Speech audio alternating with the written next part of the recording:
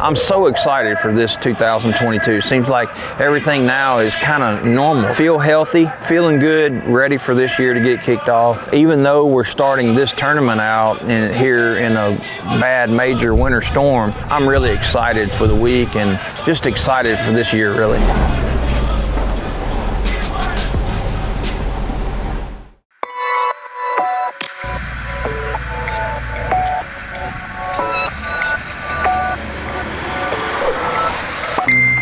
It's a nice little store. Oh yeah, we got some crappie fishing stuff. Now see, I could sit here all day and look at all these crappie jigs. Mmm, where is Wally Marshall's Miss Crappie stuff? Anytime you get around Wally Marshall, you call it Mrs. Crappie. Anytime you see Wally, Don't worry about it. Just you say, I love your Miss Crappie stuff. Shad pole's good. I'm serious, when you see Wally Marshall, call it Miss Crappie. He loves it called that. I may uh, spend the bulk of my off day today buying crappie lures. I'll catch a bass on that right there this week. I will catch a largemouth bass on that bait right there this week. Look at here. Don't really need those today. Temperatures in the 30s, pouring down rain. They were expected ice today.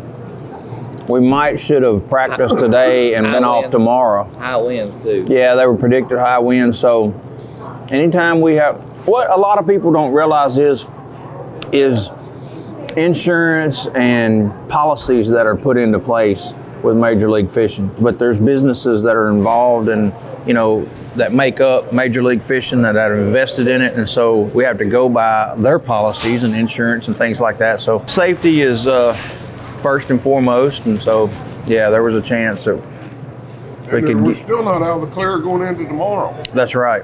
That's right. So, all 80 guys, you'll see them all through town today in Walmarts and Okay, and uh, then bait shop, bait shops. Bait shops will get a lot of. gift emporium. Mm-hmm. So this is what we do. We just kind of hang out and play the waiting game. Can't really work on your tackle or nothing like that because your cover's on your boat. So, look, buddy, how are you? Oh, good to see you. I was gonna flip you in the nut. no, don't do that. My bad. Hey, buddy, how are you? Well, guess I better pay for this chicken salad. Well, that's a wrap for lunch. We're gonna go and uh, I guess watch some TV. Can't really get in the boat, do much today with this nasty weather, but uh, yeah, whenever you have a weather delay like this, you just make the most of it. You get to know your roommates a lot better and all their dark secrets.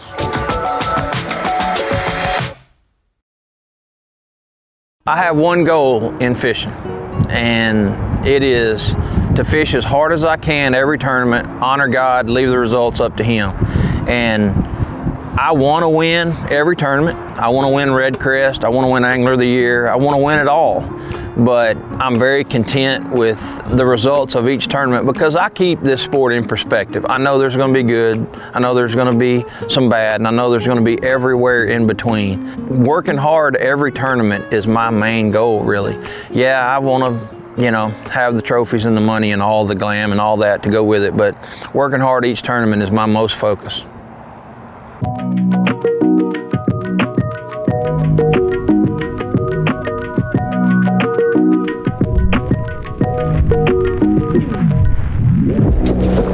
Just what the doctor ordered down here in Louisiana.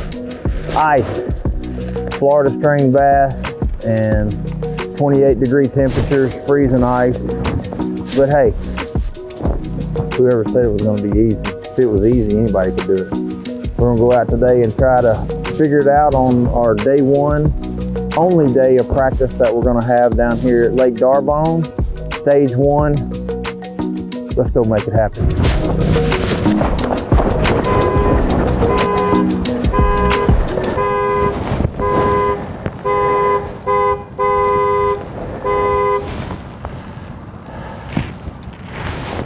Must have hit it, hit the button wrong.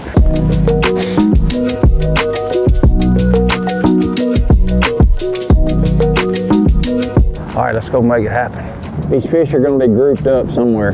I don't look for it to be just a pattern you can run all over the lake. I think These cold temperatures really congregate fish, especially in the wintertime. You learn a lot about that in crappie fishing. So I'm gonna go to areas that I feel like there should be a concentration of. I, I wanna think about where the shad would be, what the shad would be doing in this cold weather. And that's gonna help dictate where I look for, of course, the bass are going, they're going with them. They're not gonna shut down feeding. All right, let's see what kind of mood these D'Arbonne bass are on. If they're on these trees, that could be really good because there's a ton of them.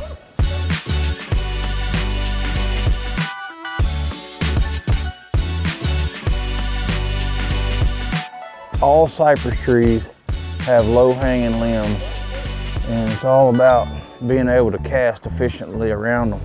A lot of times you have to cast way around, make a big loop, and then bring your line underneath and get underneath those limbs.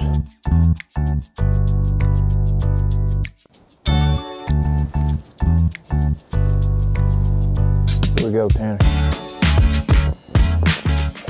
Big toothy critter. I just don't want him to get my crankbait. Tanner.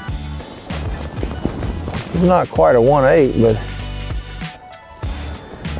he's not cold to the touch either. One condition you don't like in bass fishing is cold, muddy water. That's a bad time. You mix in muddy water into the equation, sometimes it's tough to get a bite. It's snowing in Louisiana. Really?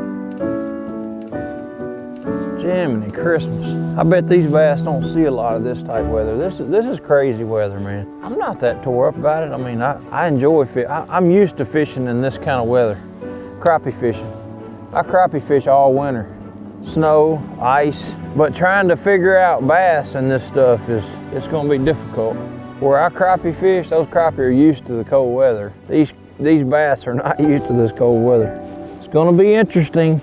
See how this one plays out.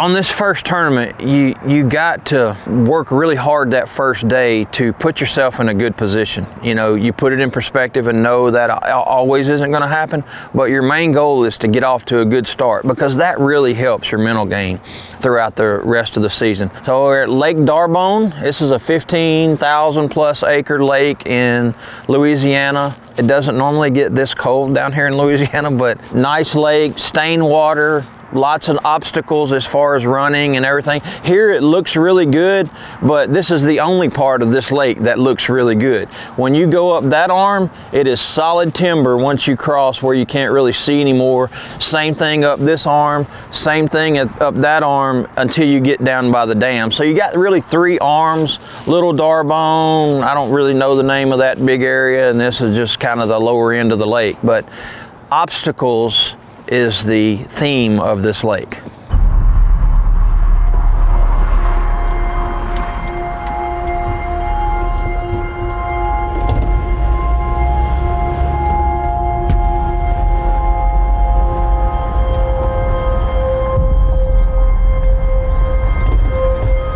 I do a lot of just preparing for the upcoming season by spending a lot of time with family, soaking it in, spending a lot of time in a deer stand, you know, talking to the Lord, the, the guy that made all these fish. So that's just my way of preparing for the upcoming season, really. Focused on my health, focused on my family, my relationship with Christ. That prepares me for an upcoming year more than anything else, really.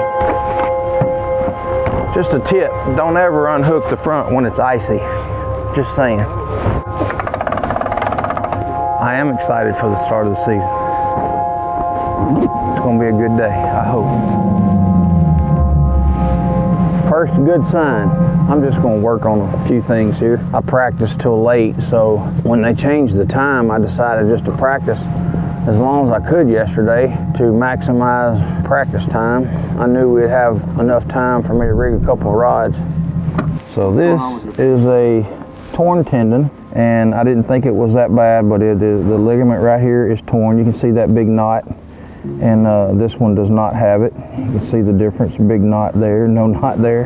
Um, so we got to have surgery or just trying to get through the season because The surgery takes nine weeks of recovery to heal properly, and I didn't have nine weeks this winter. Lots going on with cups and just other obligations, so, in deer season and crappie fishing. Try to get through the season this year with taping it up.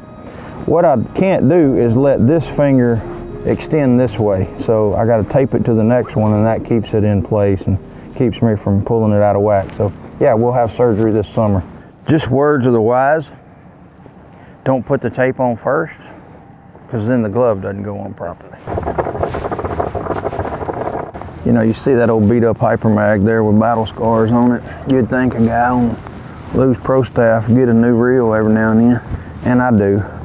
But these old ones are good ones. They're broke in good. Me and it have had time together. So I did get me a couple of these Custom Lites this year. In the famous words of Greg Hackney,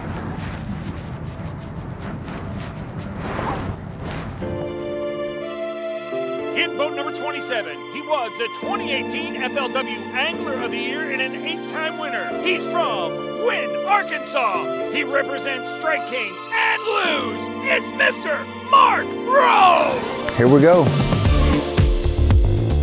The start of 2022, stage one, day one. It's gonna be a tough day and tough fishing and I'm gonna go out, focus, fish hard, fish slow, just let the chips fall where they may at the end of the day.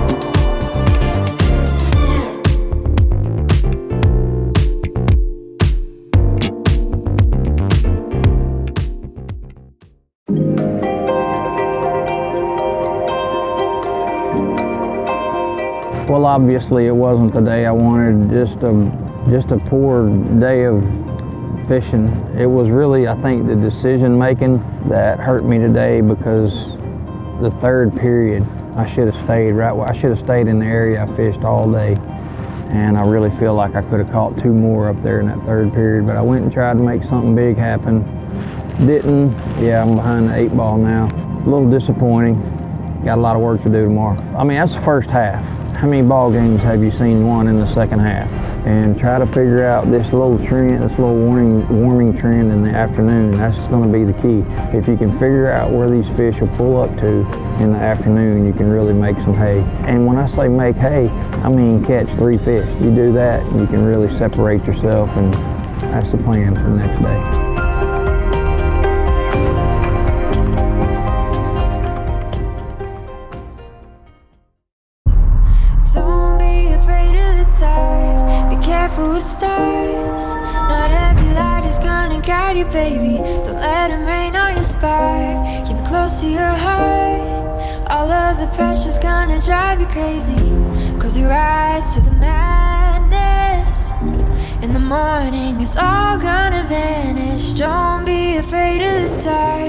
Be careful with stars. Not every light is gonna guide you. Well, here we are, day two. Got a good night's rest, right at two pounds off of where I need to be. I need to have one good, you know, one extra bite today, basically. I'm thinking of REDCREST. I'm thinking of heavy hitters. I'm thinking of making this cut.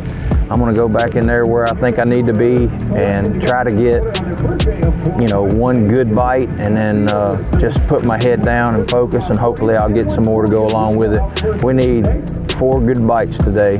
We just got to go make it happen. Looking forward to it. Yeah, the sun is starting to come up already today. It's been out the past couple of days in the afternoons. The bad thing about it is these 20 degree nights are, we're losing what we gain in the middle of the day with water temperature at night. We're just going to you know, hope that water warms up this afternoon a little bit, stay focused, and be more prepared in that th third period than I was the first day. And that, that is going to be the key, our third period today.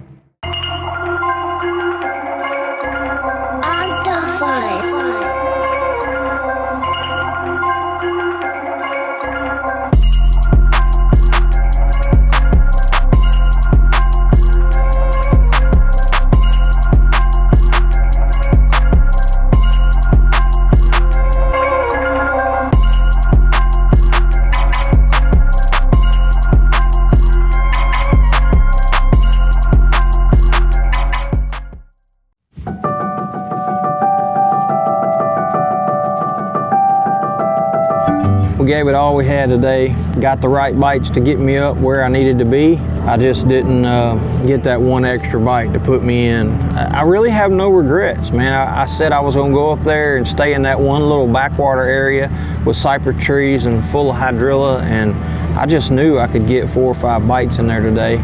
I felt like I could get one each period, and then I was gonna get two one period.